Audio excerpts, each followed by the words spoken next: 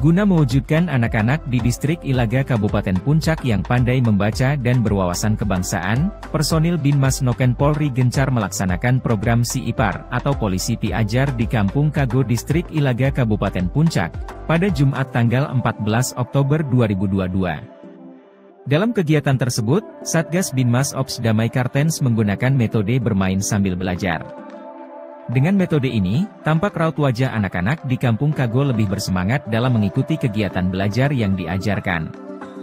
Korwil Binmas Weyel Puncak saat dikonfirmasi menjelaskan bahwa program Si Ipar akan terus digencarkan untuk membantu mencerdaskan anak-anak bangsa dan menanamkan jiwa nasionalisme sejak usia dini.